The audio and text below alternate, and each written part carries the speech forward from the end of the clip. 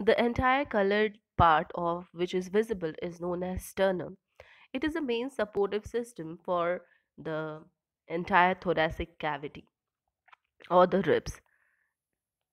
Now, this entire structure has three parts. One part is dark green in color, another part, second part is the body part, which is uh, blue in color, and the tail part is there, which is the tip part and is purple in color. Now, we will be studying in detail about everything. First of all, the size. It is 15 centimeter long.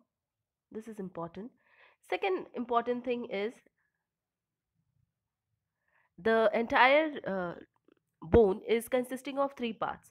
The first part is uh, long, narrow, flat, vertical bone, which is um, like a dagger. Okay. Next part is the body part, which is kind of blade, and the lowest part or the tip part is the front uh, in the frontal end is known as the xiphoid process. So uh, it is not important that you learn about each of the parts, but it is important that it is made up of three parts. The sternum, and it is around 15 centimeter long in an individual. The shape is as such that it is dagger shaped with a handle and blade along with a tip. Dagger, you all are aware, it is a defense. Uh, you know, yes, it is a defense uh, weapon which is used for protecting ourselves. So it has a shape like a dagger only. The true ribs they are attached to its sides. You can see that all these ribs which are attached with the sternum they are called true ribs. If you can count them they are seven in number. So seven in either side. So seven pairs of ribs are attached.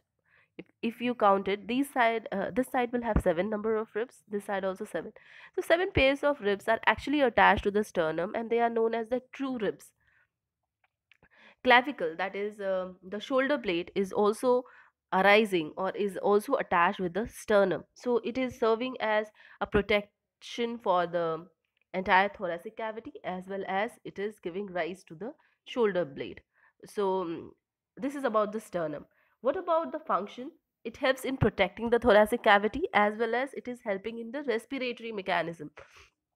The entire process of respiration it is uh, completed with the help of sternum. So this is um, one of the most important uh, bones which are present in our body and we should be aware about it.